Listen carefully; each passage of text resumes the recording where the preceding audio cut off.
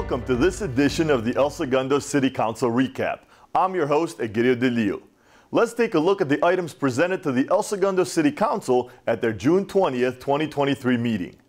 During special presentation, Police Chief Jaime Bermudez introduced the department's new crime prevention analyst, Serena Boscovich. Following public communications, City Manager Darrell George provided an update on the city's efforts to address the ongoing odors and noxious gases coming from the Hyperion Water Reclamation Plant. On June 21st, Assembly Bill 1216 will be heard at the Senate Environmental Quality Committee meeting. Councilmember Ryan Baldino will attend to provide testimony supporting the bill on behalf of the city. AQMD held a hearing board meeting today regarding Hyperion, and the city will share the outcome once AQMD issues its proposed findings and decision.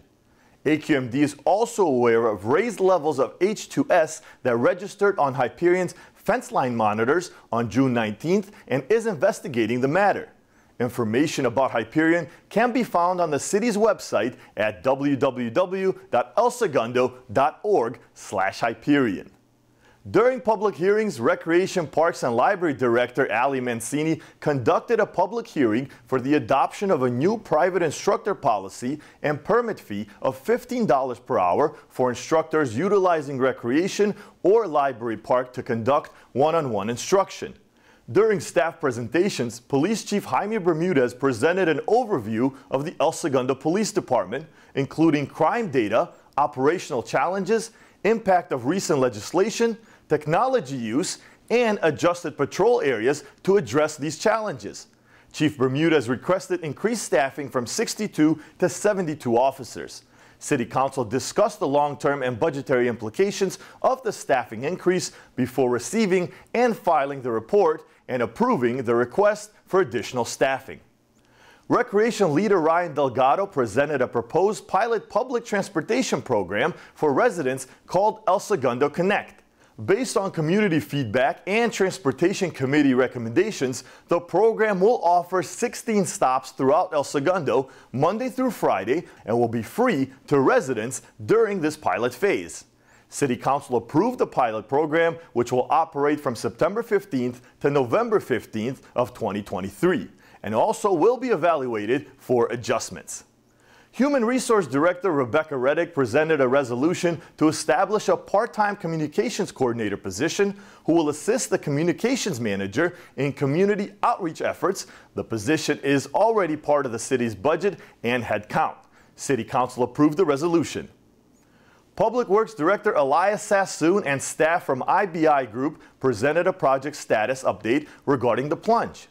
Since the January 2023 presentation, the design has been revised to address a pool leak, roof replacement, pool mechanical equipment, and includes a locker room with private family room. The design is 85% complete and is expected to be finalized in September 2023. It is anticipated that the bidding for construction of the project will begin in the first quarter of 2024. City Council noted that the project is currently not fully funded and advised staff to bring a one sheet back to Council showing where the current funding shortfall will come from and when. City Council received and filed the update. Human Resource Director Rebecca Redyk presented a resolution approving and adopting the Memorandum of Understanding, or MOU, between the City of El Segundo and the El Segundo Police Support Services Employees Association. The MOU includes cost of living adjustments, increased vacation accrual and personal leave, and increased city contributions for CalPERS medical premiums. City Council approved the resolution. Finally, during committees, commissions, and boards, Mayor Drew Boyles announced the appointment of Jeanette Gann to the Recreation and Parks Commission.